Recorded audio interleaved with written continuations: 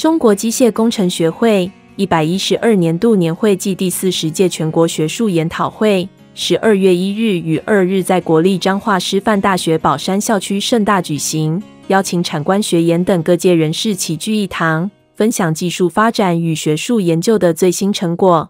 呃，中国机械工程研讨会，那这个是在啊国内的机械工程哈，还有航太热流、自动化。这个领域里面每年的盛会，那张师大是第一次举办。那我们这一次的投稿的篇数有九百八十八篇，